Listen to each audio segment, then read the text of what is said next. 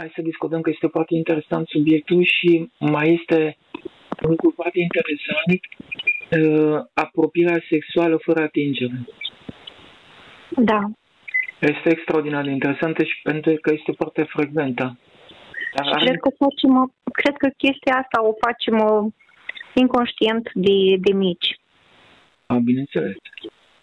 O, vrem să mărim șansele și din cauza asta vorbim cu mai mulți. Dacă vorbim cu mai mulți, vom atrage numai pe cei care sunt uh, uh, care doresc apropiere fizică, sex, și nu vom atrage pe cei care sunt serioși sau serioase. Înțelegi? Doamne, tu crezi? Scuze. Scuze tu, doamnă. Vreau să zic că de micuță mi-a plăcut foarte mult să stau în preajma bărbaților. Deci eu, uh, plăcerea mea era să stau cu, cu băieții, să discut cu ei, găseam foarte multă plăcere, companii, aveam subiecte de discuții. Deci, practic, din mic am învățat să fac sex pe verticală.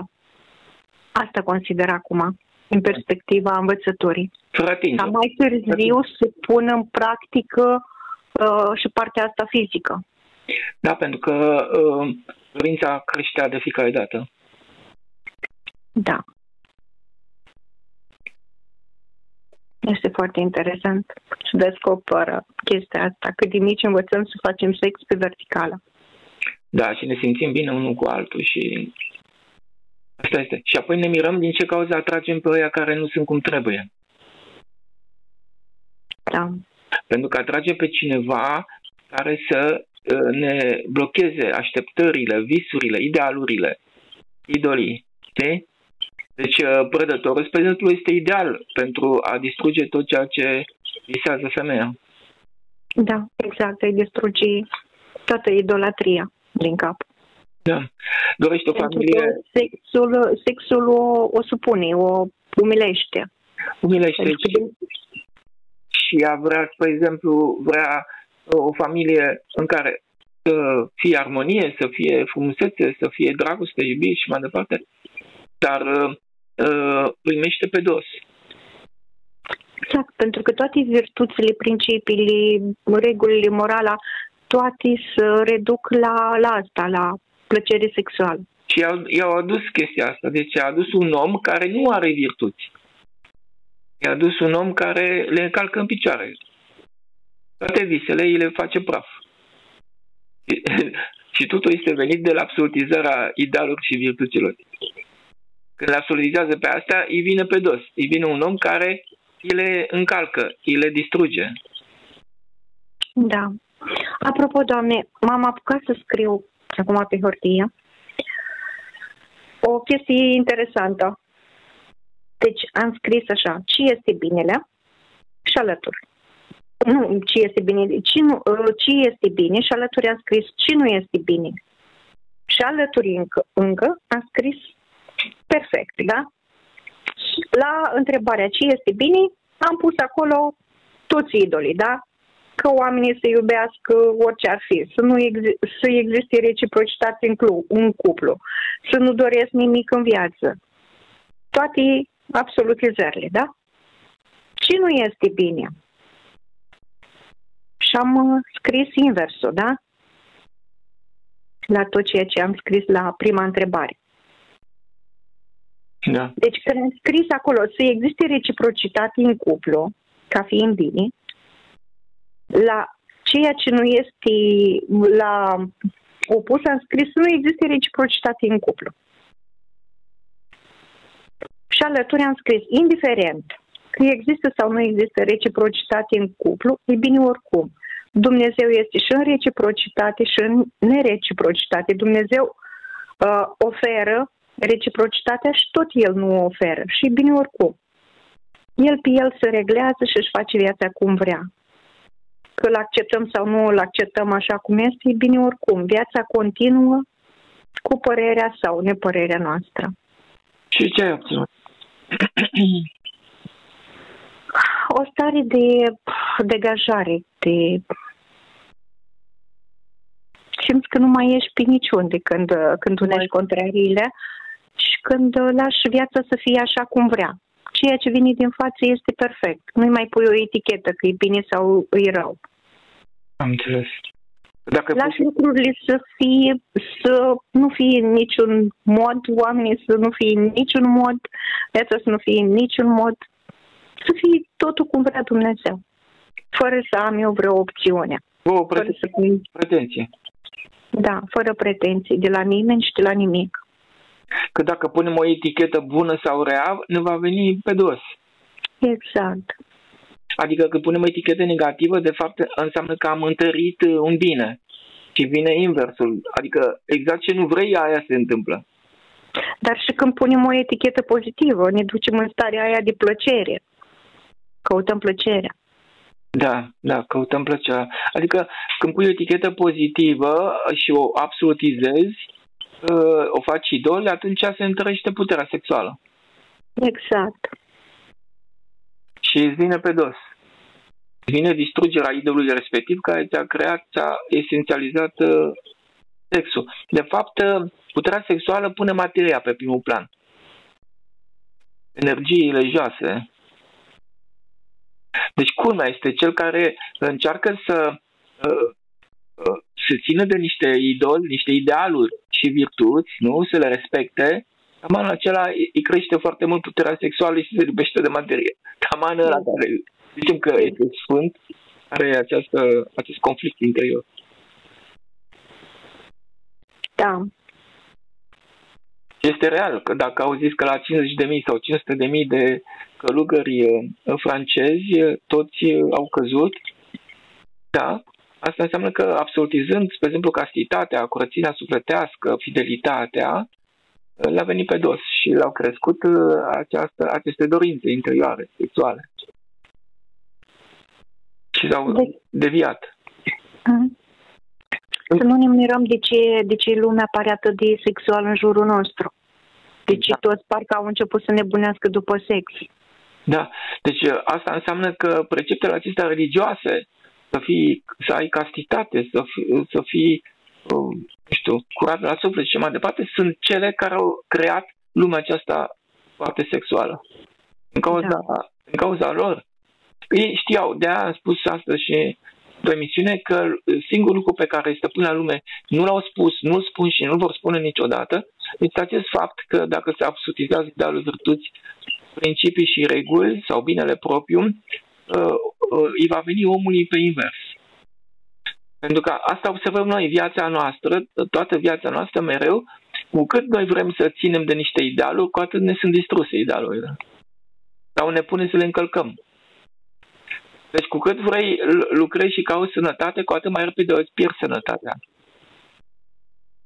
Deci asta înseamnă că nu sănătatea poate să fie absolut, trebuie să fie absolutizată, ci nimic.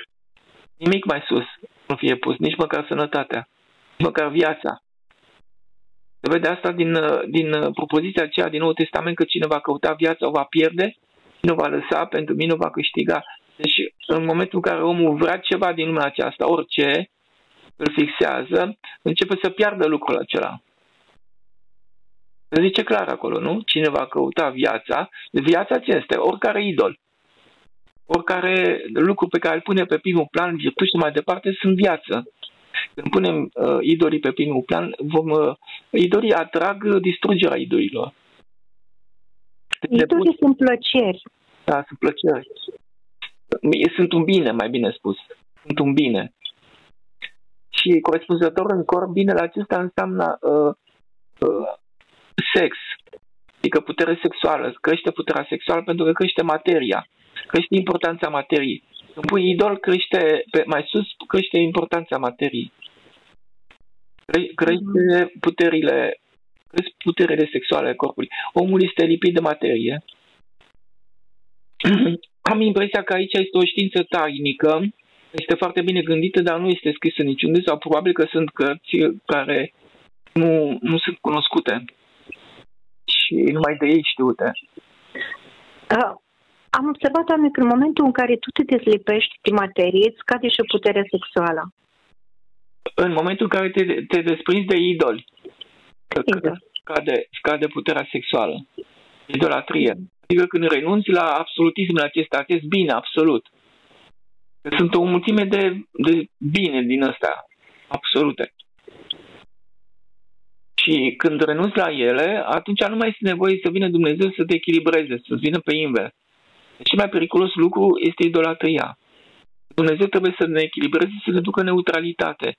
Pentru că în momentul în care noi suntem idolatrii, suntem absolutiști. Suntem absolutiști, suntem drastici. Ăștia agresivitatea interioară. Și în același timp, ăștia puterea sexuală. Deci ne lipim de materie. Deci idolatria ne lipește de materie. Pune materia pe primul plan și atunci Dumnezeu trebuie să vină să o distrugă. Deci din cauza asta Dumnezeu a zis, nu vă faceți idoli. Că veți pune materia pe primul plan binele vostru și puterea sexuală și atunci uh, va trebui să vă, să vă desprind cu forța. La noi, Doamne, ne crește puterea sexuală și la stăpânii la lume crește puterea asupra noastră. Exact, exact. A controlului. Da. Pentru că noi, prin putere sexuală, îi hrănim pe ei. Da, noi avem o viață de, uh, pedepsită, tot timpul suntem pedepsiți de Dumnezeu și ne ducem la ei să ne repare. da, sau, uh, sau primim uh, cu brațele largi deschise toată bunăstarea, comoditatea pe care ne ei ne-o dau. Și ne ducem taman la lup. Da. Da. Deci ei ne-au dat virtuțile, ne-au doborât și noi ne ducem la ăla care de fapt ne-a doborât ca să ce? Să te doboară mai tare? Deci ei n-au cum să te, să te vindece pentru că uh, ei tot timpul îți vor da alți și alți idoli ca, ca să poți să depinzi de ei, să fii doborât ca să te duci la ei. Deci ei trăiesc pe acest sistem, sunt un fel de paraziți. Deci, tot, deci ei niciodată nu să vrea să te vindece. Ca să te vindece trebuie să nu mai uh, furnizeze idoli. Să zic că, că nu se poate pune nimic uh, din lumea asta pe primul plan. Înseamnă idolatrie. Și atunci ar începe, de fapt, vindecarea. Dar ei nu pot să facă asta niciodată. Ei îți zic așa da, așa nu. Așa e bine, așa nu e bine. Atunci când se absolutizează o parte, ne polarizează și va veni inversul asupra noastră. Și mereu ne vom duce la ei. Mereu vom, vom merge la psiholog, la avocat, la medic. Păi, doamne, noi ne putem autovindeca singuri, unim contrariile și gata. Exact. Exact. Păi și dacă sunt sănătoși și dacă nu sunt sănătoși, e bine oricum. Și dacă sunt într-o relație și dacă nu sunt într-o relație, e bine oricum. Da. Indiferența asta. Asta este puterea și... cu care noi ieșim din, uh, din uh, matrixul ăsta creat de, de stăpâni. Și prin deplasarea pe puțin. Da. puținare. Când mergi pe puțin, atunci te desprinzi de materie, adică te desprinzi de idoli. puținarea, faci... Idolul ce înseamnă? Idolul înseamnă ego. Pretenții, așteptări, dorințe, toate astea înseamnă idolatrie. Ehm, cu cât omul fixează niște reguli, principii, virtuți și le, le betonează acolo sus, se raportează la ele, în clipa respectivă, el îi crește atașamentul față de materie, deci implicit puterea sexuală. Deci atașamentul de materie înseamnă sex, adică pune materia, deci pune sexul pe primul plan.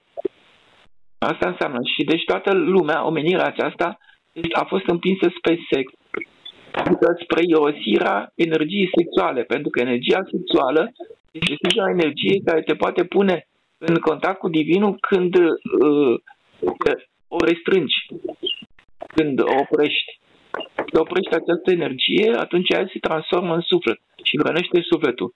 Și au făcut în așa fel încât uh, omul să decadă mereu ca să piardă suflet.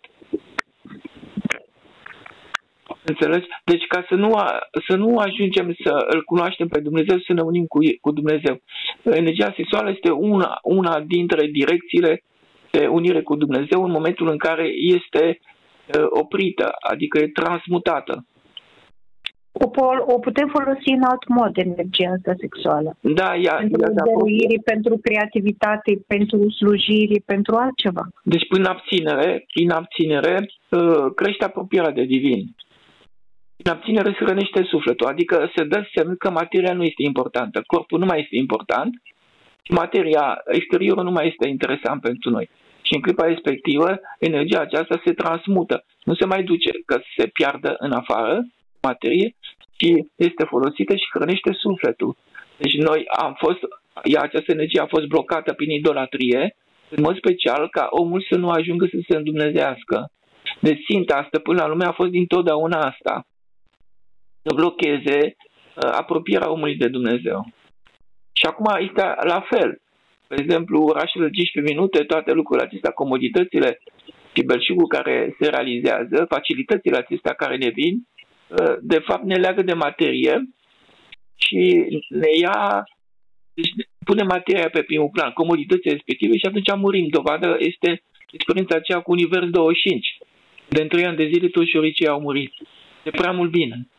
Păi, tocmai asta este ideea, Doamne, să ieși din casă, din universul ăla 25. Ieși, du-te, caută, fă ceva pentru ceilalți. În momentul în care tu ai intrat în casă, la oraș fiind, da? Păi ce faci? Ce opțiune ai acolo? Nu știu, doar să mături toată ziua prin casă, să speli, să faci chestii din astea. Sau să te uiți la televizor sau numai pe calculator să stai. Nu prea ai multe opțiuni acolo în casă, în universul ăsta 25. Dar nu se mai poate. Când, uh, pe când la țară, păi trebăluiești din dimineață până în noapte, ai mai vrea să nu mai trebăluiești, pentru că ai ceva de făcut tot timpul. Păi de-aia vor, oraș, să de-aia vor să ia, să, ia, să ia pe oameni de la țară să-i ducă în orașe de 15 minute. Da. da. Că acolo e libertate, omul este liber. De contact cu natura, în contact cu Dumnezeu direct. Da, și da. Asta vrea să o scadă populația în modul ăsta. Bine că este genială metoda. Vedem până unde îi lasă Dumnezeu să facă asta. Probabil că îi va lăsa foarte mult, atâta timp cât omul găsește puteri interioare, resurse interioare să se desprindă de comodități, de plăceri, um, îi va lăsa. Da. Până când vor înțelege că sunt de fapt vânați. Asta de ce există aici.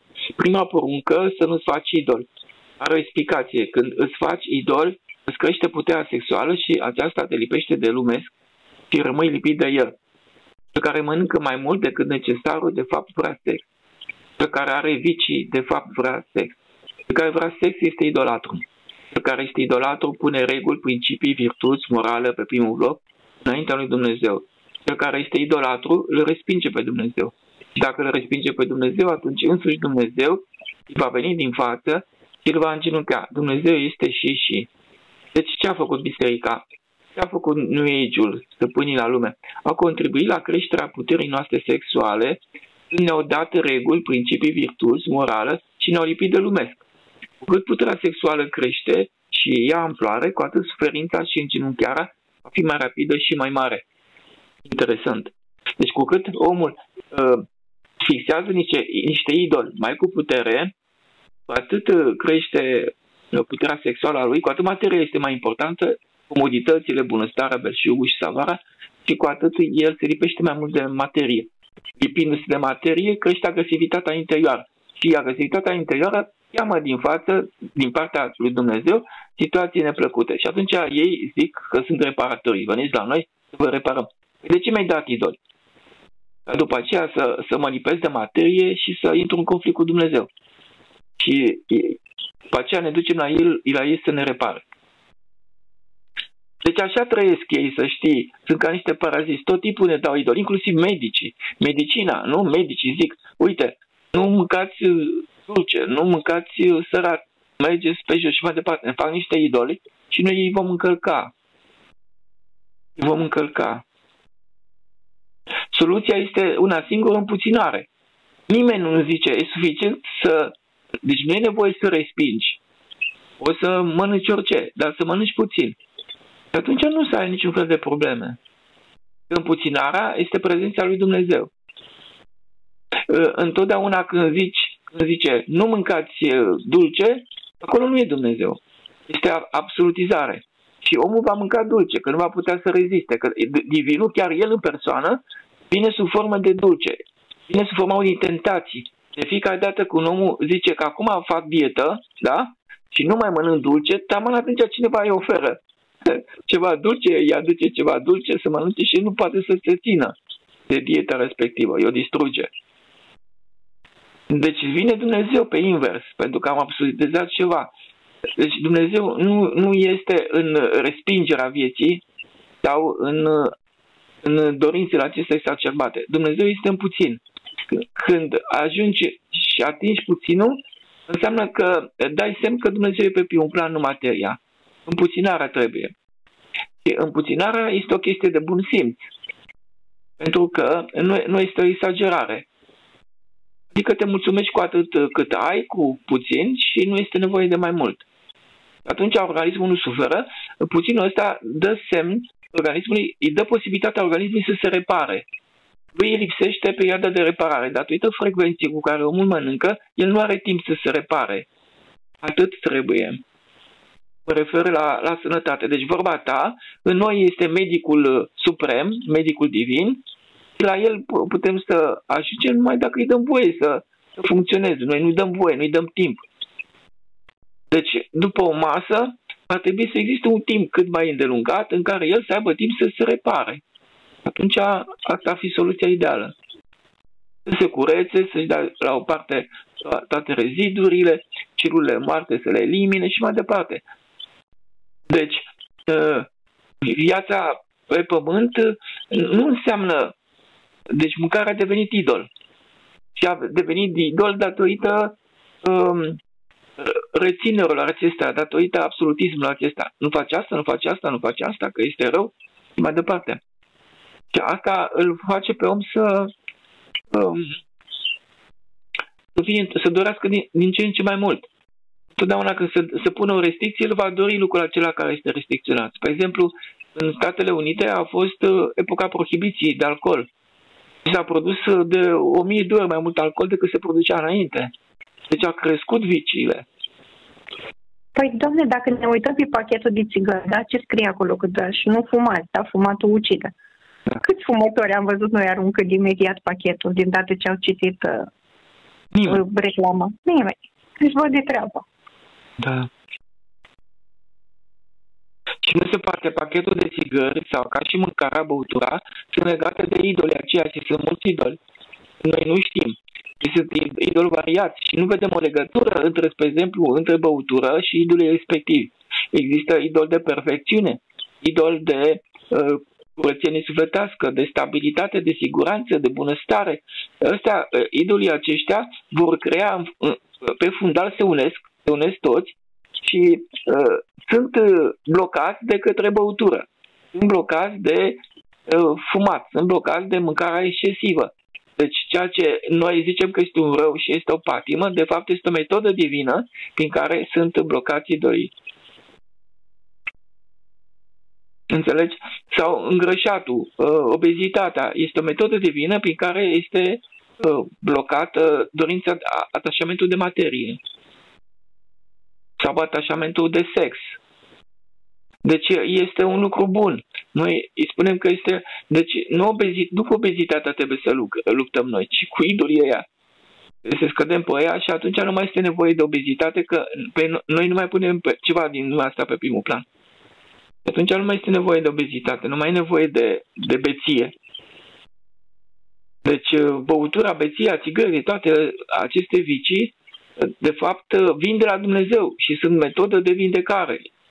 Vindecarea și distrugerea unor idoli. Trebuie să determinăm ce idoli sunt puși pe primul plan, dar problema este că nu sunt idoli specifici. Adică sunt idoli de alt, altfel. Și ei se unesc acolo toți. De exemplu, omul care vrea ca lucrurile să fie, îi place perfecțiunea, te trezești că bea. Și tu nu vezi nicio legătură între perfecțiune și băutură. Știi? Sau fumează un om care este exigent, un om care pune, o femeie care pune castitatea pe primul plan sau fidelitatea. Poate să mănânce excesiv și mai departe. Deci toate astea sunt de fapt dorințe de sex. Înseamnă materia pe primul plan. Deci idolatria ne duce în materia pe primul plan și atunci mâncarea trebuie să mănânce mult ca să-i uh, amelioreze din, uh, din idolatria respectivă, să distrugă idolii. Deci exact ceea ce se întâmplă este echilibru pe care Dumnezeu deja l-a făcut. Vicile acelea care le avem noi, Dumnezeu ni le-a dat ca să echilibreze niște absolutisme pe care noi le punem pe primul plan și le ținem fixate. Deci nu vicile sunt de înlăturat, vicile sunt vindecarea. Uh, absolutismele acelea trebuie să le, să le punem pe hârtie și să vedem ce e cu ele. De ce, de ce le considerăm noi așa de importante? Pentru că ele ne duc la o formă de intransigență. Deci oricare din virtuțile la idolii aceia puși pe primul plan, idealuri și reguli fixate, ne duc la o formă de intransigență. Omul, omul este radical. Când omul este radical, înseamnă că el fixează ceva și zice că numai așa trebuie să fie. El trebuie să distrugă pretenția că numai așa trebuie să fie. Când înțelege că poate, pot să fie lucrurile oricum și distruge această idolatrie, consecința oricărui idol este afirmația că numai așa trebuie să fie. Și distruge această pretenție ca lucrurile să fie într-o anumită formă, uh, se distruge uh, idolul, se distruge diavolul de acolo. Și atunci nu mai este nevoie de mâncare, de băutură, de țigări, de sex ca să uh, acopere, să distrugă acest, acest idol. Deci ceea ce ne dă Dumnezeu ne dă exact ceea ce avem nevoie ca să putem să, să distrugem idolii. Și tu spui aici să nu fiu în niciun mod, oamenii să nu fie în niciun mod, lucrurile și viața să nu fie în niciun mod de lumea lui Dumnezeu și o aranjează după bunul lui plac. Indiferent cum vine, totul spre noi și prin noi este perfect. Dumnezeu este în scenă continuă. Ai spus, Doamne, un lucru foarte interesant. Să nu luptăm cu idolii, să lăsăm viața în pace, să fie așa cum este. Uh, de fapt, noi nu cu idolii luptăm, noi luptăm cu, cu reacția negativă a lui Dumnezeu, care vine din față. Da. Deci, e de fapt o neacceptare. Zicem că ceea ce ne vine din față nu corespunde idolului respectiv și din cauza asta zicem că e rău. Noi luptăm cu consecința idolului. Și în momentul în care uh, noi acceptăm uh, reacția divină, adică uh, inversul care ne-a venit din față ca să ne distrugă idolul respectiv și îl acceptăm și nu mai punem etichetă negativă, atunci idolul dispare. Înțelegi? Deci, când uh, nu mai punem etichetă la că este rău, spre exemplu, băutura este rea, gările sunt rele, sexul este rău. Când nu mai punem etichetă negativă, se distruge idolul. Deci, idolatria, a, a, dar apare o problemă complicată aici, pentru că idolatria se, se comportă în infinite forme. Sunt idoli de diferite forme, dar au ca și consecințe, spre exemplu, băutura. Deci pe Dumnezeu îl interesează sau sexul, sau mâncarea, sau țigările, orice patimă. Deci uh, nu patima trebuie să fie înlăturată, ci să uh, scădem idolii respectiv. Adică să nu mai zicem că uh, așa este, așa este definitiv, așa trebuie să fie. Deci idolii se fixează la modul de fixare să ne uităm. Se fixează printr-o absolutizare. Așa trebuie să fie. Și ne modificăm viața în funcție de el. Ne raportăm la ei și le aplicăm în viața noastră și uh, îi, uh, îi urmărim ca să, să îi aplicăm în viața de zi cu zi. Și când îi aplicăm în viața de zi cu zi, ne vine inversul mereu. Ne pune Dumnezeu să facem ceea ce noi am respins sau să ne vină din față ceea ce nu ne convine. Înțelegi? Deci idolul se fixează, modalitatea de fixare a idolului.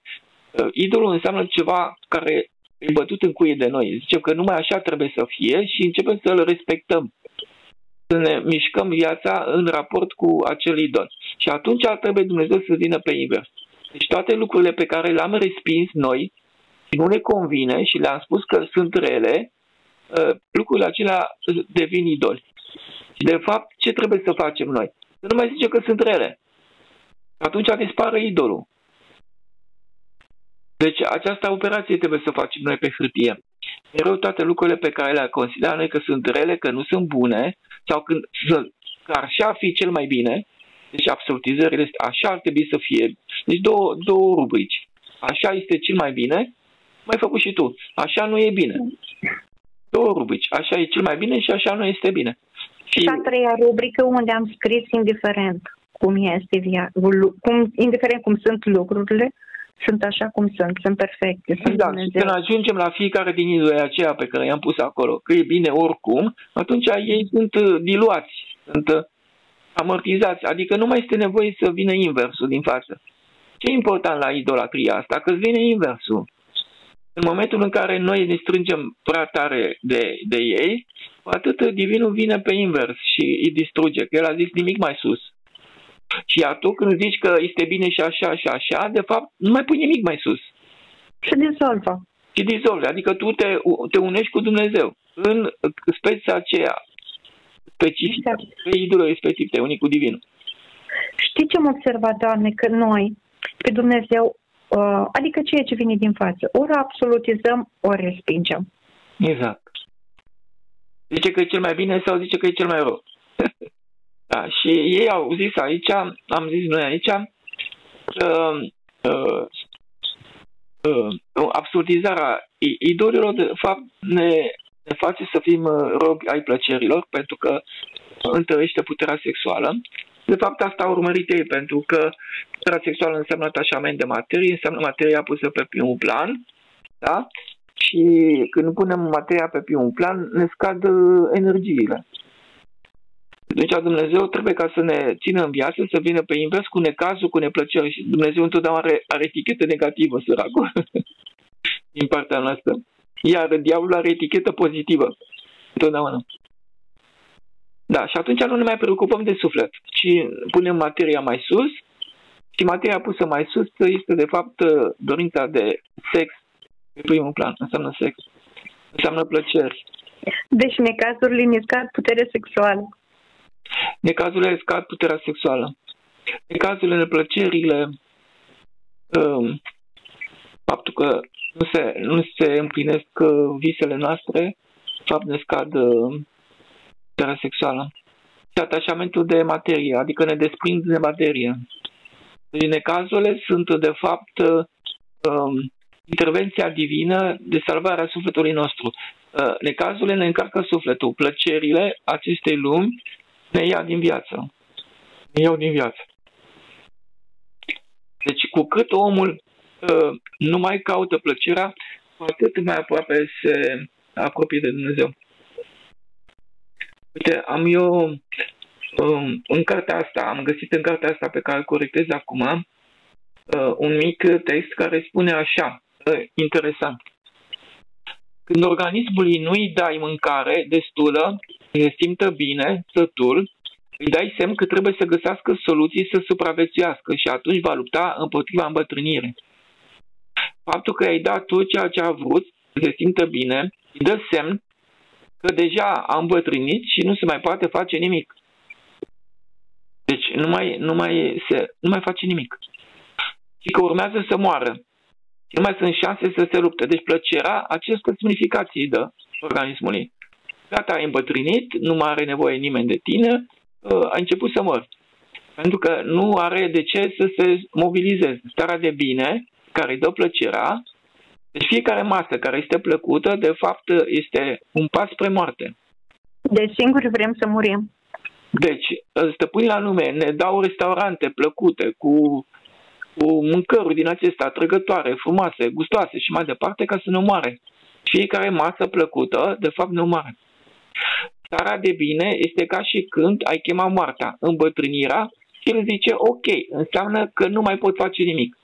Starea de bine, de sătul, de plăcere este cea, cea, cea care aduce îmbătrânirea și moartea. Dar când nu-i dai ce vrea, îl faci să lupte, să găsească soluții să nu moară. Și le va găsi pentru că le are deja. Da? Din cartea pe care o corectez. Și asta și prelungește viața. Deci trebuie să duci uh, organismul într-o stare de autostres, să nu-i dai ceea ce vrea, pentru că asta înseamnă că trebuie să te zbați, să supraviețuiești, să nu mori. Iar el când se zbate este ca o primăvară. El, când nu-i dai ceea ce are nevoie, îl țin o continuă primăvară. Adică uh, puterile interioare trebuie să se mobilizeze, să găsească soluții. Deci el începe să facă curățenia de primăvară, face și iarna, dacă nu-i dai ceea ce dorește el. Deci face curățenia, uh, dă la o parte toate toxinele, uh, distruge celulele moarte și reface organismul. Deci nouă ne, păi... ne lipsește perioada de reparație. Doamne, dacă ne, um, ne raportăm la Vechiul Testament, o să observăm că oamenii trăiau cu mult mai mult. Da, Prorocii, dacă ne uităm și în viața lui Moise sau la alții, da, păi ajungeau la sute de ani. Da, 300, 500, 1000, nu știu. Exact, pentru că ei își creau un continuu autostres. Da. Nu-și făceau plăcere. Deci, aici, este, aici este secretul. Da. Iar societatea noastră modernă este bazată pe plăcere, deci pe autodistrugere. Deci, uh, uh, mecanismele de autoapărare și de refacere a organismului, de întinerire, se opresc la plăcere. Deci, la o masă plăcută s-a oprit. Deci, la o masă plăcută ai început să mori. Adică mecanismele de autodistrugere sunt mai puternice decât mecanismele de refacere. Ca să fie mai puternică, puternice cele de refacere, trebuie să nu-i dai, ca să-l mobilizezi. El nu se mobilizează și deci nu, nu se curăță. Se îmbârsește. Oh. ca și când ai sta într-o casă în care nu faci deloc curățenie un an de zile. Aceeași chestie e valabilă și pentru părinții care își îndoapă într-una copiii și le dau toate chestiile, bunătățile din lume. Nu fac, nu fac altceva decât să-i omoare. Da, îi trimite la moarte sigură. Îi îmbolnăvesc. Da. Pentru copiii ăia nu mai învață uh, să, să supraviețuiască singur, să-și caute singur, da. să creeze singur. Ei așteaptă totul, totul de-a gata. Da. Și astăzi am vorbit despre, într-o emisiune uh, pentru televiziune, despre actul sexual fără atingere, care este de fapt flirtul cu mai mulți bărbați. Flirtul cu mai mulți bărbați este un act sexual fără atingere. Și discutam da. despre o doamnă care uh, a pus întrebarea din ce cauză bărbații doresc mai sex cu ea și niciunul nu vrea o relație de lungă durată. Pentru că, de fapt, acesta, acest semn îl dădea ea. Ea ce făcea? Această doamnă cons- consuma uh, relațiile pe flirt și se ducea la mai mulți bărbați, căutând să-și multiplice șansele. Dar atunci, bărbat care este mai cu minte, spre exemplu, vede că ea se duce la mai mulți bărbați și nu are încredere în ea, deci nu se mai poate baza pe ea. Deci ea dădea semn că pe mine nu mă interesează decât apropierea uh, sexuală uh, fugitivă. Da? Uh, acest sex vertical care este de fapt flirtul. Este, este sex vertical fără atingere. Și ea se obișnuiește cu acest sex fără atingere și atunci ea în sine nu, nu dorește, ea zice că vrea uh, o relație de lungă durată, dar de fapt nu vrea, pentru că ea, uh, ducându-se și discutând cu foarte mulți bărbați, deja consumă actul sexual uh, fără atingere, în flirt, deja îl consumă.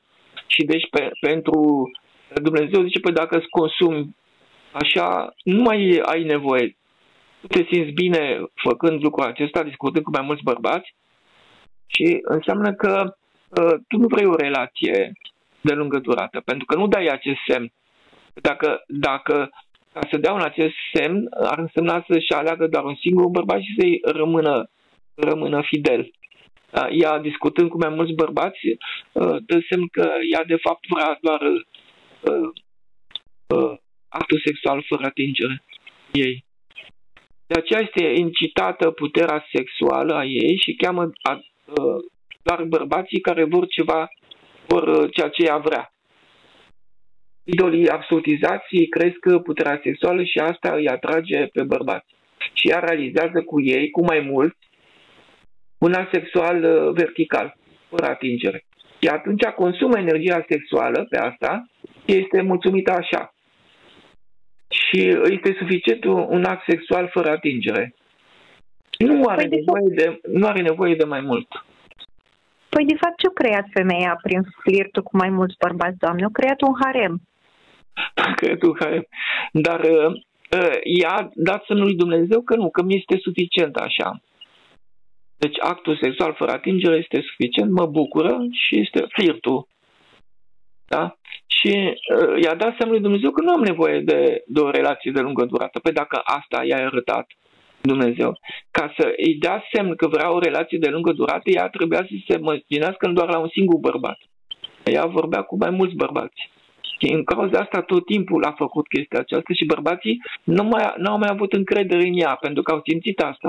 Au simțit că ea este bine plăcută când discută cu, cu ei și în, au pierdut uh, încrederea în ea pentru că și-au dat seama că ea de fapt dorește doar apropierea fizică. Și asta i-au dat. I-au dat ceea ce i-a arătat.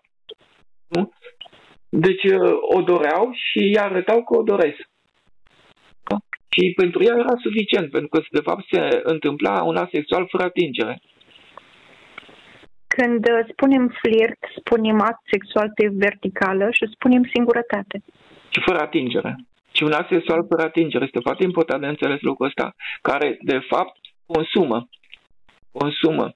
Uh, deci ea a dat semnul lui Dumnezeu că uh, pe mine mă interesează să să mă bucur fizic, știi, bucuria fizică. Nu i-a arătat lui Dumnezeu că pe ea interesează uh, să fie cu cineva o perioadă mai lungă de timp, adică ea n-a petrecut timp mai lung, un an, doi, cu, cu un bărbat și se arate, uh, să se cunoască, să arate, să fie importante calitățile interioare, da? Să poate să comunice, să se simtă bine împreună, adică nu sexul. Că dacă se duce și discută cu un bărbat uh, și aplică metodele acelea cunoscute de apropiere de, de ei, uh, ton uh, foarte plăcut, privire uh, în ochi, zâmbet, timp petrecut cu bărbatul respectiv, asta înseamnă că ea țintește de fapt faptul că se va simți bine când el se va simți bine. Adică când se va simți el bine, el a ridicat testosteronul, ei îi se ridică oxitocină și este suficient un sexual vertical fără atingere. Și atunci ea dă semn că nu vrea un lucru de durată. Vreau să spun, doamne, că în spatele flirtului se mai ascunși niște absolutizări. Uh, dacă de micuță să se spune să nu intre în discuții cu bărbații, cu străinii, taman pe invers ai să faci. Sau dacă ți se spune să, să nu fii rea cu oamenii, taman pe invers, pe invers o, să, o să faci. O să cauți tot timpul să fii bună, drăguță și atunci o să intri în discuții și o să creezi atmosferă plăcută. Exact. Așa se creează flirtul. N-ai, n-ai ce face, că uh, este exact cum am și spus noi, uh, femeia care are niște idoli fixați acolo, care de obicei vin din religie, ea, uh, Dumnezeu trebuie să-i distrugă și atunci vin pe invers. Deci, dacă ea absolutizează castitatea, curățenia sufletească sau fidelitatea, ea ajunge să fie infidelă. Ea ajunge să... să... Da. da pe invers. Și asta se întâmplă de fiecare dată. Deci uite unde ne aruncă pe noi absolutizarea idealurilor religioase, principiilor da. religioase. Să fii o fată cu minte, să fii la locul tău. Exact. Și acolo ne duce. La flirtare și tot înainte. Deci idolii absolutizați cresc puterea sexuală și asta îi atrage pe bărbați. Și ea realizează cu ei, cu mai mulți bărbați, un ax și se și gândește la, la ei. Se gândește uh, în privat, se gândește la uh, o apropiere de mai mulți bărbați, adică să facă dragoste cu mai mulți bărbați. Și atunci are loc un act sexual cu ei, acord care, cu care ea discută, fără atingere, și consumă energia sexuală pe asta și este mulțumită de, de lucrul acesta. Astfel ar trebui să scadă idolii. Atunci puterea sexuală nu mai crește, nu mai atrage asemenea bărbați care vor numai sex, pentru că chiar ea asta le arată, că vrea doar sex. Și, aceea și, și așa cum ai spus tu, Doamne, prin um, autorestrângere, prin asta, să, să distrug idolii, discade puterea. Exact. Și asta o face uh, prin faptul că este deschisă la fir, la discuții cu mai mulți bărbați. Și ei simt că ea este deschisă la apropiere fizică și de aceea ei nu pot uh, să dorească, să dorească mai mult de la ea, pentru că nu au încredere într-o femeie care le arată că dorința sexuală este importantă pentru ea, pentru că femeia care râde cu ei și discută cu ei o uh, perioadă timp lungă, de fapt le arată că de fapt vrea apropiere sexuală. De aceea, da. Să vine să Doamne, la expresia Florentinei din uh, Germania. Și dăm înainte cu apă cu pesmeți și o să ne scadă idolii și putere sexuală. Da. Deci de aceea bărbații, uh, când văd că femeia este bine plăcută și vrea apropiere, vrea satisfacție sexuală, ei nu mai au încredere în ea. Uh, da? Ei au văzut ușurința cu care ea flirtează cu mai mulți bărbați și le este frică să se apropie de asemenea femeie.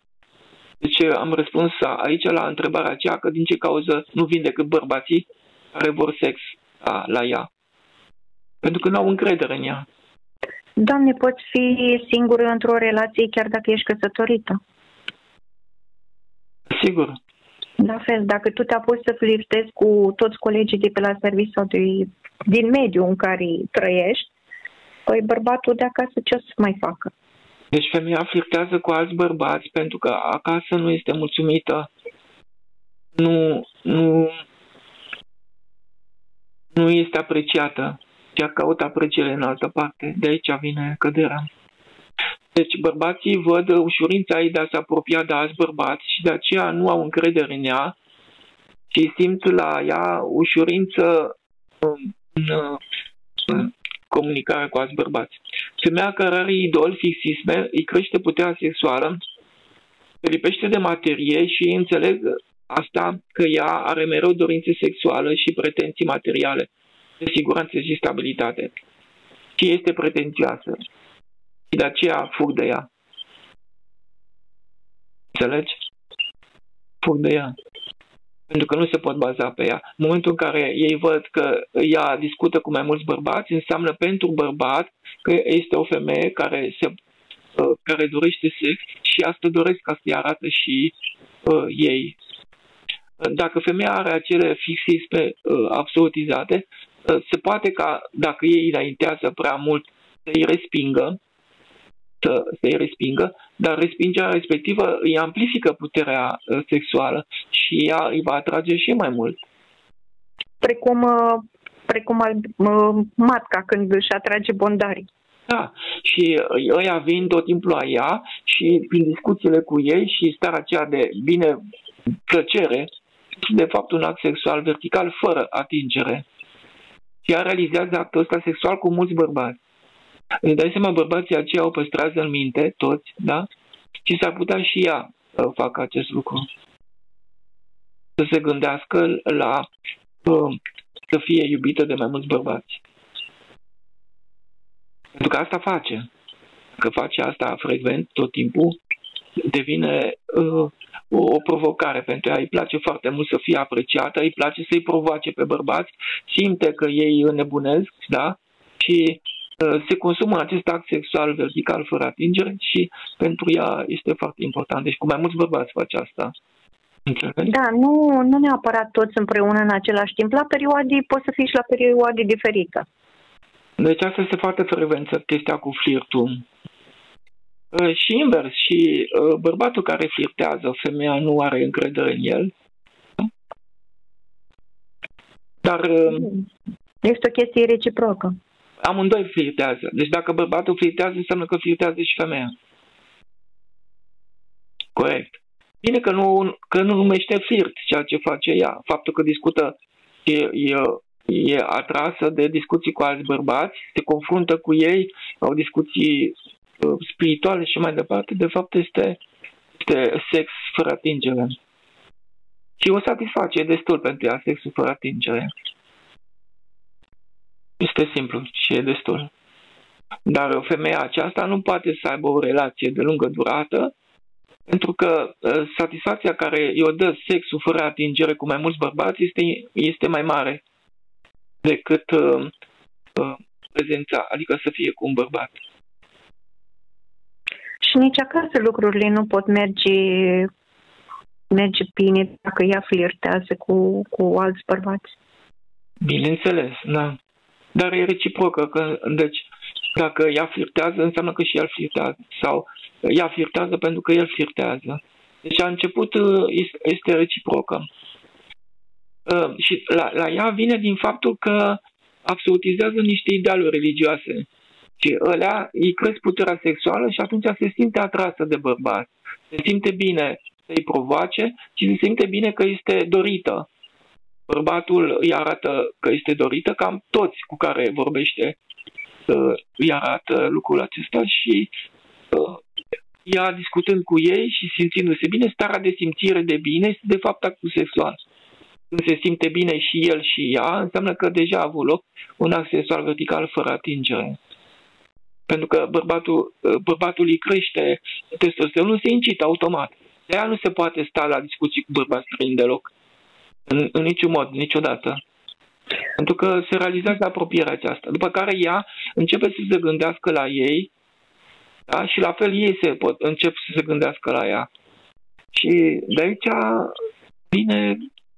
Dar acestei femei sau acestui bărbat este suficient uh, discuția uh, cu alți bărbați. Adică actul ăsta sexual fără atingere este suficient. Și atunci nu mai are nevoie de o relație de lungă durată, de, de nimic. Este suficient uh, discuția cu ei, este uh, suficient să le arate interes, să le arată, să-i provoace. Uh, învață foarte, învață foarte bine să-i provoace pe bărbați și duce până în, în momentul în care ei înnebunesc și nu mai rezistă. Și apare actul ăla sexual, vertical. Că de unde știi că a apărut? Pentru că uh, continuă, ea continuă și uh, mereu uh, așteaptă a doua zi, iar să fie cu ei, iar să, să îi provoace și ea este într-o continuă stare de excitare și caută, da, și caută, caută, și caută plăcerea. Da. Și nu are nevoie de, nu are nevoie de o relație serioasă acasă, de dragoste, de atenție. E suficient că îi acordă toți bărbații atenție. Deci ei compensează lipsa atenției de acasă. Femeia care tot timpul a fost uh, curtată uh, cade în sistemul acesta. Și uh, ea, și totul vine de la religie. În momentul în care a absurdizat niște reguli, da, și apare, îi, îi respinge pe bărbați, pe băieți, îi respinge, îi incită foarte mult și ea se bucură de dorința care se dezvoltă în ei, da, și uh, de fapt ea se folosește de dorința lor, îi ridică testosteronul și îi ridică și oxitocina și e destul pentru ea îți dai seama că ea realizează un act sexual fără atingere cu orice bărba, bărbat sau băiat pe care îl provoacă. Și este suficient. Deci pe, băr- pe bărbat nici să-i respingi, dar nici să vorbești cu ei mai mult decât este suficient. Da, așa fac. Depășești alea trei minute. Da, așa fac femeile. Depășesc uh, trecele trei minute și atunci intră pe sistemul acesta în care îi provoacă pe ei. Dacă ea este frumoasă, da, cu siguranță bărbatul este incitat. Deci toți bărbații se incită. Toți bărbații o doresc.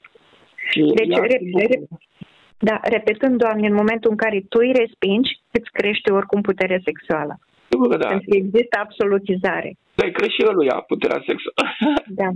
Și ăla înnebunește și când vezi că înnebunește, uh, de fapt, ea poate să-l respingă în clipa respectivă pentru că, de fapt, a atins un paroxism al uh, plăcerii. Deci deja a realizat o, un act sexual fără atingere și este suficient. Deci se folosește de bărbați ca să poată să, uh, ca să atingă această bucurie sexuală. Dar îi crește puterea sexuală foarte mult dar îi provoacă pe bărbați, îi provoacă. Deci știi cum se simte această femeie? Din ochi se simte, din ochi, din îmbrăcăminte, din corpul ei, din tot. tot toată ființa ei spune ceea ce dorește. Pentru un bărbat, asta este foarte clar și el știe foarte bine. Dacă ea discută cu un bărbat, l-a incitat automat.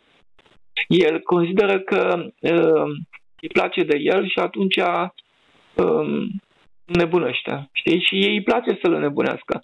Ăsta este jocul pe care de obicei femeile frumoase îl fac. Doamne, sunt și femei care nu sunt suficient de frumoase, suficient de atrăgătoare, nu se îmbracă și totuși atrag foarte mulți, mulți bărbați. Da. Tot. Și ele fac sex pe verticală pentru că discută foarte mult cu ei, încearcă să-i cucerească în alt mod. Da, da, îi provoacă. Așa este. Deci, undeva pe acolo, pe la mijloc, este Dumnezeu când, când nu respingi bărbații și când nu vorbești mai mult decât uh, este suficient. Deci trebuie să cunoști care este natura Care bărbatului. din mijloc. Da, natura bărbatului și natura femeii. Dacă femeia are pe cineva acasă, nu poate să vorbească mult timp cu un bărbat, nu poate să, fie, să râdă cu el, nu poate să vorbească spiritualitate cu el, cu nimic. Nu, Mai vorbesc strictul că băr- necesar, da, nu. Strictul Nu răspund necesar și discurs, eficace, cuprinzător, da. Pentru că îl provoci pe bărbat. Da. Îl provoacă. Orice bărbat poate fi provocat. De o femeie care discută cu el, este frumoasă, orice bărbat cade, nu se discută. Cade. Și orice femeie cade. De aceea nu se discută nici măcar pe, pe mesagerie. Se cade foarte ușor. Este timp. Este, este o energie care se dă un altui bărbat și nu se mai dă acasă. Și dacă e dată altui bărbat, nu se mai dă acasă. Știi? Și bărbatul de acasă nu mai este hrănit. Și atunci el se duce în altă parte, când nu-i se mai acordă atenție. Înțelegi? Și invers. Dacă femeia, dacă bărbatul se duce în altă parte, nu mai acordă atenție uh, soției și soția se duce și ea în altă parte. Înțelegi? Deci de fiecare dată când cineva uh, uh, caută în altă parte și celălalt va căuta în altă parte. Dacă nu există o frână, există o frână care am spus că vine din, din cultură. Adică cineva care, spre exemplu, pune pe Dumnezeu pe primul plan, nu mai poate să facă chestia asta. Că dacă este preocupat numai de apropierea de Dumnezeu, lucrul acesta nu le mai vede esențiale. Nu mai înseamnă nimic pentru el. Nu le mai ia în seamă și atunci el nu... El poate să fie înșelat, dar el nu, nu înșeală. Înțelegi? Sau invers. Deci, uh, când pui pe primul plan pe Dumnezeu, atunci nu mai ești interesat de lucrurile acestea. Pentru că ceea ce îți oferă divinul nu dep- depășește orice, orice plăcere de pe lumea aceasta. Apropierea de divin. Adică, spre exemplu, călătoria în alte lumi, dincolo de lumea aceasta, călătoria în timp, nu? Uh, Păi- Dă niște satisfacții, niște bucurii care depășesc uh, orice din lumea asta. Să ne imaginăm o balanță, Doamne. Pe de o parte, într-o parte sunt plăcerile și într-o parte sunt cele enumerate de tine acum. Da. Da. Călătoriile în alte lumi, puterile astea supra. Ce dorim fiecare? Unde suntem fiecare mai exact? Deci, atâta timp cât noi fixăm niște idoli, vom dori plăcere. Adică Dumnezeu ne va veni pe invers și ne va pune să dorim plăcerea lucrurile pe care le-am respins. Și vom cădea, cu siguranță. Și omul din fața noastră va cădea sau ne va veni pe invers. Deci, problema noastră este idolatria. Dacă nu pui nimic pe primul plan și accepti viața așa cum este, nu mai este nevoie, n-ai ce să scadă la tine. Atunci nu, tu nu cazi, n-ai cum să cazi și nici din față nu are ce să vină ca să te dezamăgească. Ca să te dezamăgească ceva, tu trebuie să ai niște idoli pe care să-i dezamăgească omul din față. Dacă tu nu ai idoli pe care să-i distrugă, el nu are ce să distrugă și atunci el nu poate să cadă. El poate să facă orice altceva, dar nu poate să, să te deranjeze pe tine. Iar tu nu vezi. Deci fără idol, pentru tine nu este important nimica. Că uh, sunt importante lucruri, spre exemplu, castitatea făcută idol înseamnă că tu vei vedea în jur pe oricine încalcă castitatea. Înțelegi? Da. Și o să ai tendință să-l judeci. Și îl judeci, bineînțeles. Deci tot ceea ce fixezi vei judeca. Și vei respinge, și vei respinge. Și cu cât vei respinge, cu atât întărești. Întărești în tine și îl întărești și pe celălalt. Deci când se pun niște principii din astea religioase și fixate, femeia aceea, când vrea să le respecte, întărește în ea inversul lor. Întărește, spre exemplu, când zice că așa trebuie să fie, să fie fidel, întărește în ea infidelitatea. Înțeles? Trebuie să așa fie, să fie, să aibă castitate, uh, întărește în ea nedorința de castitate. Și așa se întâmplă, că devine o forță irepresibilă. Nu îi se poate opune. Îi vine din interior. Și atunci ea este deschisă, spre exemplu, la flirt, la discuții cu alți bărbați. cea care uh, fixează niște idoli este deschisă, este deschisă la fiert. De aceea este vulnerabilă. Întotdeauna femeia care este foarte religioasă este foarte vulnerabilă. Bărbații știu precis. Ei, ei nu se pot căsători cu o femeie de genul acesta, este imposibil, pentru că nu au încredere în ea. Ei se, du- se uită întotdeauna la interiorul ei. Interiorul ei se exprimă prin manifestare se uită cum este îmbrăcată, cum vorbește, ce tonalitate are, este uh, foarte dulce în vorbă. Înseamnă că e atrăgătoare vocea respectivă. Înseamnă că vrea sex. Se uită la ochi, dacă se uită în ochi, te privește fix, înseamnă că vrea sex. Dacă petrece timp cu tine, înseamnă că vrea sex. Dacă zâmbește, înseamnă că vrea sex. Deci bărbatul are foarte multe lucruri care îi arată interiorul ei. Da? Și atunci nu are încredere în această femeie. O, o dorește din punct de vedere sexual, da? dar nu dorește o relație cu ea, fuge. Nici măcar un prădător. Nu există un prădător care să dorească uh, să se căsătorească cu asemenea femeie. Este imposibil. Pentru că este variabilă și uh, ei îi place să facă, și acolo se oprește la sexul, uh, vertical, fără atingere. Și este suficient. Și el nu are încredere în asemenea femeie. Pentru că nu o să-i dea toată energia lui. Ea răspundește energia la mai mulți, tot timpul îi place să discute cu mai mulți, să le, să le arate la mai mulți um, uh, binevoire. Și atunci bărbatul, când vede că ea vorbește cu mai mulți, gata, nu mai are încredere în ea, s-a terminat. Prădătorul în sine fuge de asemenea femei. Prădătorul vrea o femeie care, spre exemplu, nu petrece timp cu el, nu discută cu el, nu i arată interes, da? nu, nu-i zâmbește, nu vorbește atrăgător, că nu e interesată deloc de uh, să-l atragă. Femeia aceea este o femeie pe care el se poate baza. Și se, și se uită și la comportamentul ei față de alți bărbați. Dacă uh, nu este interesată de niciun bărbat, atunci pentru el acea femeie se poate baza pe, pe ea. Am putea spune, Doamne, că flirtul de fapt este o formă de autodistrugere. Da. Pentru că te îndreaptă spre suferință. Da. Suferința este în genunchiere și oricum e bună, că te duce tot acolo la Dumnezeu. Da. Toate că nu știu cât de mare suferință, că femeia este deci, dorința sexuală exacerbată prin idolatrie, întărită prin idolatrie, este satisfăcută prin firt, adică prin discuții uh, plăcute cu mulți bărbați, adică prin acte sexuale uh, verticale fără atingere. Ea rămâne acolo, este, este, este suficientă uh, apropierea fără atingere. Este suficient. Nu vrea ceva mai, mai departe. Și asta este răspunsul la doamna aceea pe care spuneam. Că ea se întreba din ce cauză bărbații nu, nu fug toți. Uh, asta, doamne, vreau să spun, doamne, că de multe ori uh, există și o repulsie um, sexuală la nivel fizic. Vreau să spun, foarte multe femei nu mai suportă bărbatul modul în care face el uh, sex cu ea și atunci îl respinge, respinge forma aia de sex. Și unde își găsești uh, alinare? În flirt. Okay. Se duce, flirtează și totuși uh, umpli golul ăla de, de putere sexuală. Da, e satisface puterea sexuală, liniștește puterea, dorința sexuală. Pieptul, asta înseamnă înseamnă consumarea uh, dorinței sexuale. Așa este. Dar uh, femeile de genul acesta le este suficient flirtul. Discuția cu mai mulți bărbați este suficientă. Este sex fără atingere și nu are nevoie de mai mult. Înțelegi? Nu are nevoie de o relație de lungă durată.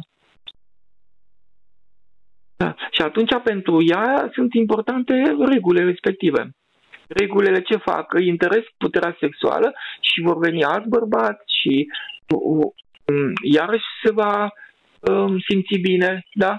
Deci, uh, cu cât ea observat că cu cât fixează acele reguli și le absolutizează, cu atât puterea sexuală este mai mare, cu atât este mai atrăgătoare pentru alți bărbați, observă că ei vin, da, preia și îi incită foarte ușor. Și ea atunci este satisfăcută această putere sexuală și este destul. Nu este nevoie de mai mult. Poate duce până la apropiere fizică cu oricare din ei. Dar uh, ea nu vrea o relație de lungă durată pentru că uh, relația cu mai mulți bărbați de genul acesta, flirtul, adică relația sexuală verticală fără atingere, este destulă. îi, uh, îi satisface dorințele fizice. Deci cuna de pe lume. Uh, fixezi niște idealuri religioase și te trezești având dorințe sexuale. Mi-a mai venit o chestie, doamne. Uh, sunt foarte multe fetițe care au fost violate când erau micuțe, da? Abuzate. Da. Păi alea au să-i respingă din start oamenii care vor sex și atunci ele au să duc, o să îndrepte toți spre flirt ca să umple iarăși spațiul ăla acolo. Exact, vor atrage întotdeauna bărbații pe flirt. Da. Pentru că bucuria care o dă flirtul, adică ea este apreciată și se acordă atenție de mulți bărbați. Deci mulți bărbați o duc în stare de, uh, de act sexual extrem. Și ea nu se mai, nu se mai simte abuzată fizic. Și nu se mai simte abuzată fizic și ea rămâne acolo, în poziția respectivă. Deci se caută foarte mult puterea asta sexuală, care practic aș putea o numi puterii diavolească. Puterea asta sexuală, puterea de diavolescă e a idolilor. Idolii sunt diavolii. Și implicit uh, crește această putere interioară sexuală. Crește importanța materiei, egoismul, egoul. Cu cât un om are mai multe reguli absolutizate, cu atât este mai exigent, mai drastic, mai dur. Și cu cât este mai, mai dur, cu atât are dorințe mai mari. Și cu atât este mai vulnerabil la altcineva care vine și uh, îl uh, atacă. Este foarte vulnerabil. Deci cu cât fixează niște idoli, cu atât este mai vulnerabil. Deci femeia care absolutizează niște idoli este foarte atrăgătoare pentru bărbat, uh, foarte sexuală. Bărbatul când se uită la ea, simte dorință foarte puternică.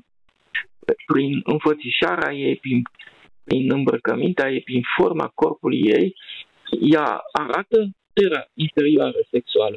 Deci cu cât, este, deci cu cât are mai mulți idoli, cu atât e mai atrăgătoare pentru un bărbat. Cu atât incită bărbații, cu atât bărbații vor veni, toți vor veni spre ea și ea se va simți apreciată și uh, se va simți bine. Deci este suficient un act sexual de tipul acesta pentru că este de durată. Îmi dai seama, spre exemplu, stă în discuții cu cineva sau cu mai mulți bărbați, toți o apreciază și ea se hrănește cu acea apreciere a lor. Da? Și uh, îi cresc, bărbații îi cresc oxitocină și ea, de fapt, uh, este într-o stare de fericire continuă pe care o dorește tot timpul. Îi dă seama că în momentul în care începe să-i respingă, îi întărâtă mai tare. Observă chestia asta și uh, de fapt ea se incită mai mult după aceea și bucuria ei este mai mare. Când omul acela este nebunit și simte că este nebunit, pentru faptul că ea, ea l-a respins ușor, da? și lui îi crește dorința și mai mult și ea devine mai atrăgătoare și se hrănește cu acea foame a lui de apropiere fizică. Cu alte cuvinte, Doamne, dă cu parfum de idol și ai să atragi toți bărbații din lume. Da, parfum de idol. Fixează idol că îi vei atrage cu siguranță. Da. Și este irrepresibilă, nu se pot opri, bărbații nu se pot opri. Ei știu, femeile știu foarte bine că ei nu pot să se oprească. Orice bărbat o va dori.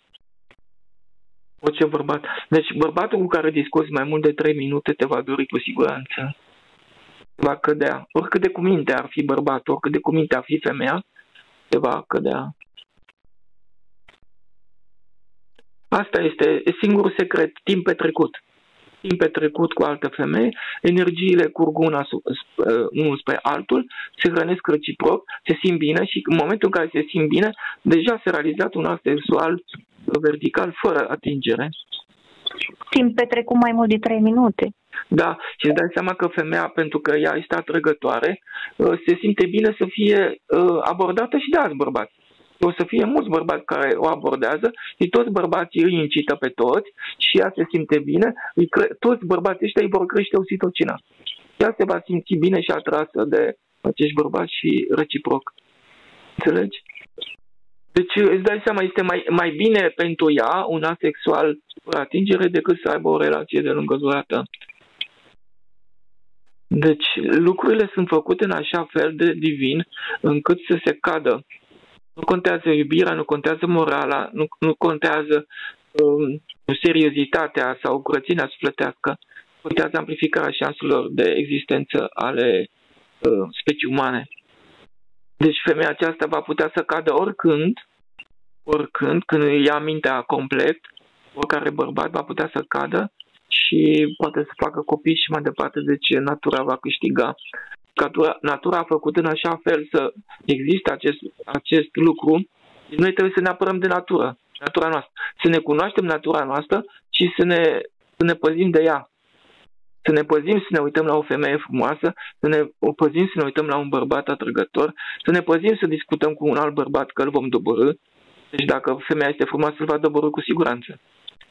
Deci un bărbat ori, ori poate să fie căsătorit, să aibă căsătorie fericită, să aibă de toate, va cădea. Va cădea cu siguranță. Nu rezistă niciun bărbat la, la uh, cum să zic eu, la provocarea unei femei frumoase. Dacă o femeie frumoasă vorbește cu el, are o tonalitate atrăgătoare, așa, uh, cu, cu un ton bine plăcut, uh, îi zâmbește, îi arată atenție, vorbește cu el mai mult timp, da? Um, are îmbrăcăminte atrăgătoare sau părți ale corpului goale, îl va provoca cu siguranță.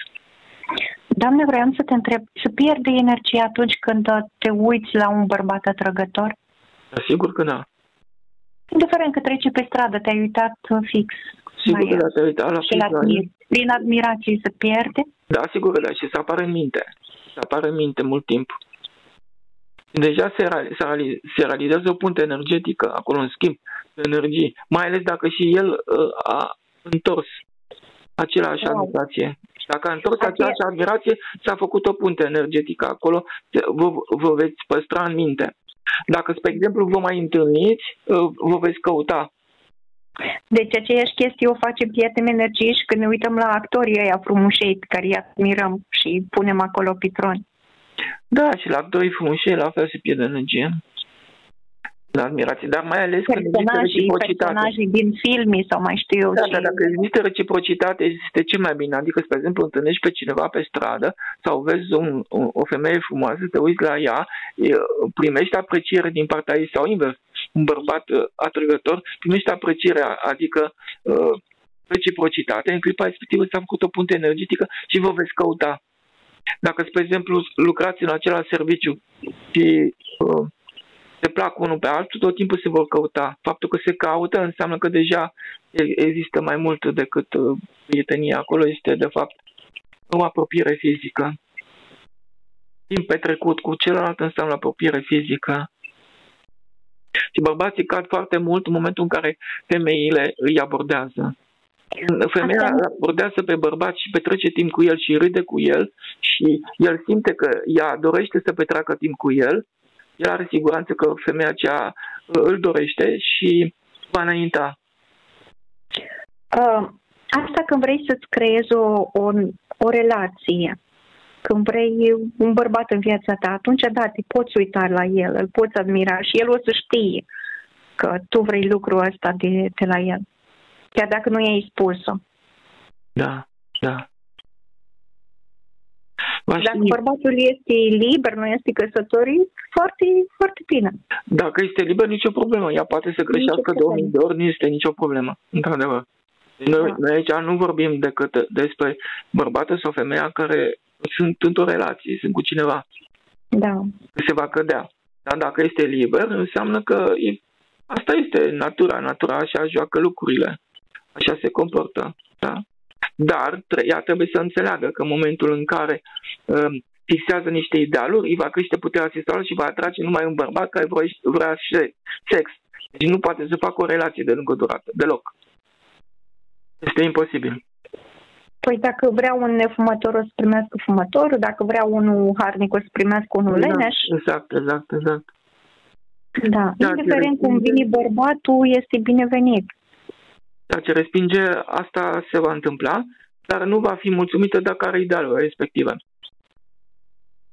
Păi și nemulțumirea o să o trimită în afara relației, să flirtezi cu alții ca să-și umple spațiul. Idealurile din religie și din biserică o va face să îi crească dorința sexuală și va primi de. un bărbat cu care dorește același lucru. A, dorește sex. Și nu, nu este un bărbat elevat cu care să poată să, uh, să stabil, sigur, nu poți să faci o relație de lungă durată, deci vei avea un neserios. Deci un om care uh, este interesat numai de sex și atâta. Dar dacă este interesat numai de sex, înseamnă că e interesat de sex cu orice femeie. Deci omul, acel bărbat va fi deschis la orice relație, fiind cu tine. Fiind cu tine. Deci nu te poți baza pe el. Dar totul vine din tine, din absolutizările respective religioase. Că ți-au crescut puterea sexuală și vei atrage un bărbat care vrea sex exact ceea ce vrei tu. Dacă tu, spre exemplu, nu mai fixezi niște idealuri și principii și reguli, atunci puterea sexuală nu mai poate să crească pentru că nu mai are ce să scadă. Știi? Nu mai, nu mai, deci puterea sexuală este un prilejul prin care tu vei atrage un, un bărbat în viața ta care să te dezamăgească. Deci bărbatul acela vine să-ți distrugă idolii respectivi. Deci idolii sunt problema.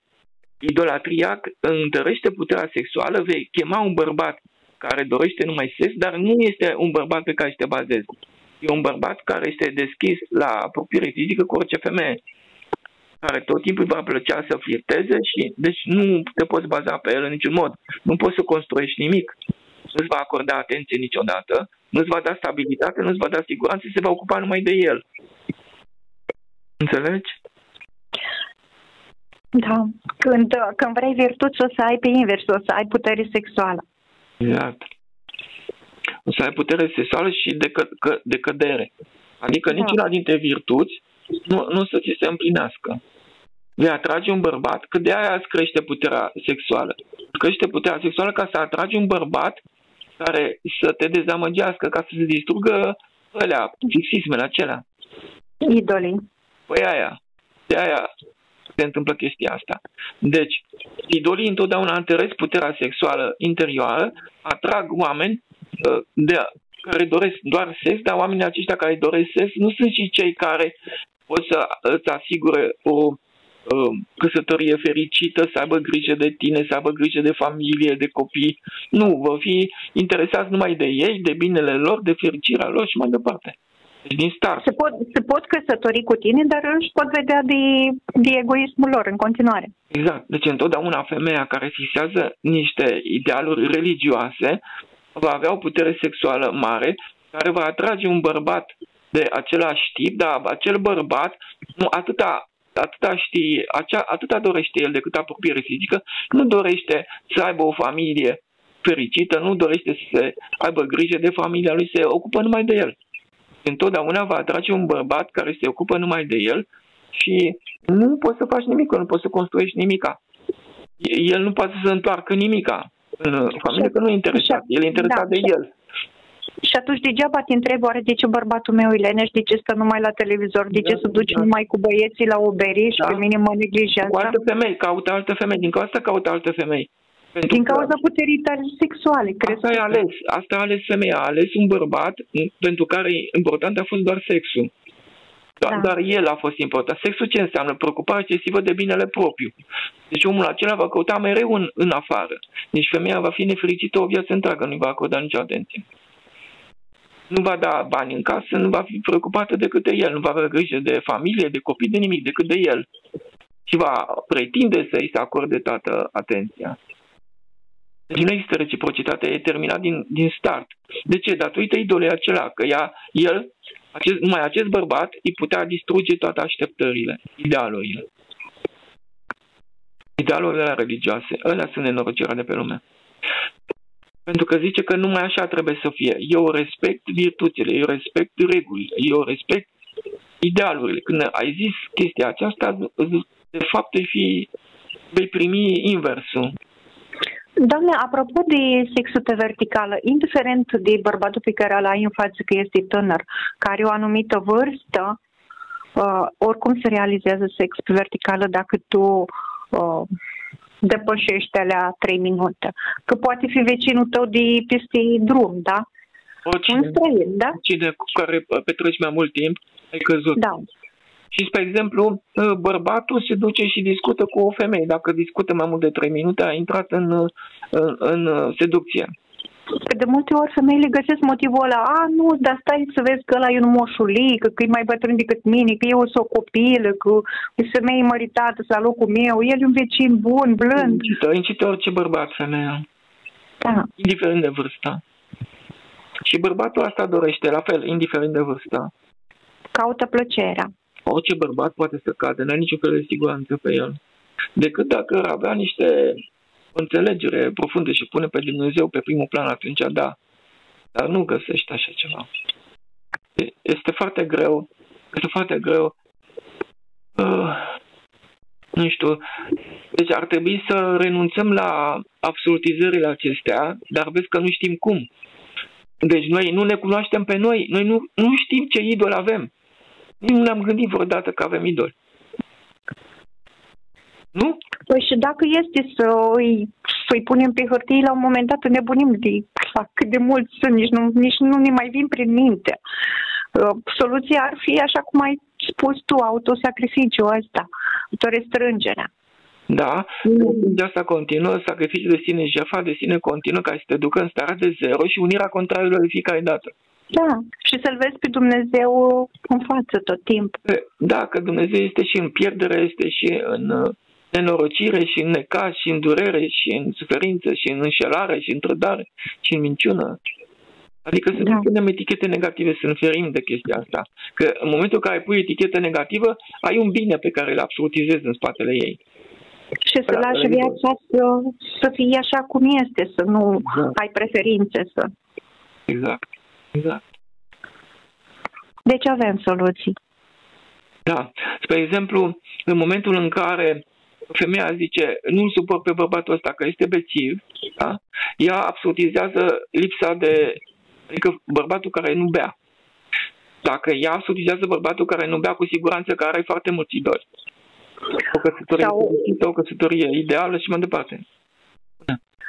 Sau poate să, să zică că nu suport bărbatul ăsta că vine acasă și nu vrea altceva de la mine decât sex. Exact. Și când face, uh, deci el vrea sex pentru că ea absolutizează uh, castitatea și așa mai departe. Curățenia sufletească, deci are niște idoli în religie. Și atunci îl determină pe bărbat. Deci vine Dumnezeu sub forma unui bărbat care vrea sex. Și normal este pentru că ea când a fixat idolii respectivi a crescut puterea sexuală. Și de fapt asta vrea ea. Ea vrea sex. Sau el poate să-i ceară sex, sex într-una, pentru că ea are foarte multe pretenții și nemulțumiri de la el. Ba că nu-i curat, ba că nu-i spălat, ba că nu a făcut aia, ba că nu face bine aia. Și atunci el vine și cu chestia asta. Da, ca să-i distrugă toate pretențiile acelea, că pretențiile în spatele lor sunt niște absolute. Niște da. idealuri absolute. Pretenția asta înseamnă idealuri absolute și le distruge. Deci problema nu este faptul că bărbatul uh, vine în forma asta negativă, deci Dumnezeu prin el. Problema este că femeia fixează niște absolute. Ăla trebuie să le dizolve, să le distrugă. Și se distrugă așa cum ai spus, să, să, să nu le pui pe un plan, să nu te raportezi la ele, să nu le transformi în viață, să nu le aplici în viața ta. Dacă acele absolutisme le aplici în viața ta, vine divinul pe invers și ți le distrugem. Și uh, ele pot să fie de altfel, absolutismele nu, pot să nu aibă legătură, spre exemplu, cu sexul. Pot să fie absolutismele de altă formă. Pot să, spre exemplu, femeia să pună pe prim plan perfecțiunea. Dar în spate, cu mințenia sau mă știu eu ce, uh, în spate toate sunt una, înseamnă idol. Atunci Dumnezeu ți distruge, uh, indiferent cum.